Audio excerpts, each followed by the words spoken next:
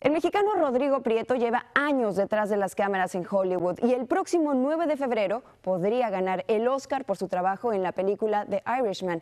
Ninette Ríos de Un Nuevo Día conversó con él en la ciudad de Los Ángeles y esto fue lo que le dijo sobre su nominación. For achievement in cinematography, the Cinematographers Branch nominates the following films The Irishman. ¿Dónde estabas tú en el momento que escuchaste las nominaciones? Estaba en mi recámara con mi esposa. ¿A quién le dedicas tú esta nominación?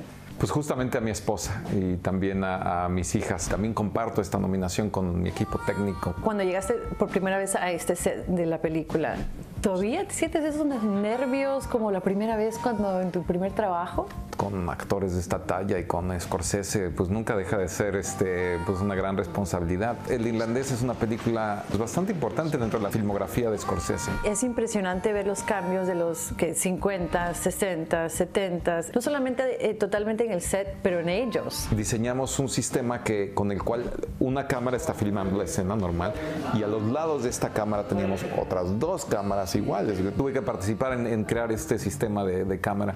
Eh, Scorsese quería que hubiera una sen sensación de memoria, pero yo pensé que todos tenemos recuerdos de, de, pues de las fotos de nuestra infancia y esas fotos fueron tomadas con Kodachrome y Ektachrome y tal, ¿no? Entonces por eso apliqué esa, esa, esos colores. Desde muy chico me, me interesó este, esto de contar historias y el cine. Mi papá tenía una cámara de 8 milímetros y entonces alguien nos explicó que, que si tomabas un cuadrito y movías al muñequito de plastilina y luego otro cuadrito y movías al muñeco y tal, tal, tal, tal, cuando proyectabas eso, el muñeco se ve como si estuviera en movimiento. Desde ahí me quedé enganchado porque proyectamos ¿no? en una pantalla grande estos monstruos y nuestros amigos se quedaron muy impactados. Y pues bueno, esa reacción de, de, de esa magia, ¿no? de, de engañar a la, a la, gente ¿no? y están viendo un monstruo, ¿no? es un muñequito de plastilina de este tamaño.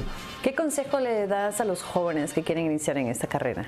Que para hacer cine eh, hay que hacer cine. Entonces, este, que se pongan a, a escribir sus historias y filmar con su teléfono, con lo que sea, armar historias y disfrutar eso. ¿Qué deberíamos de hacer los hispanos para estar más representados en Hollywood?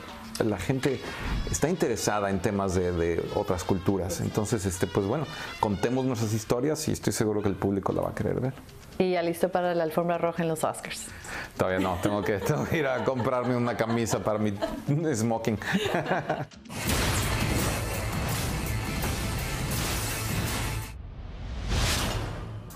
Pero nosotros sí ya estamos listos para esa entrega de los Óscares. Gracias, Ninette Ríos, de Un Nuevo Día, por esta entrevista. Vamos a hacer una muy breve pausa para el por el que un avión de la compañía Delta descargó combustible mientras volaba sobre una zona habitada de Los Ángeles, California, cayendo incluso sobre varias escuelas. Los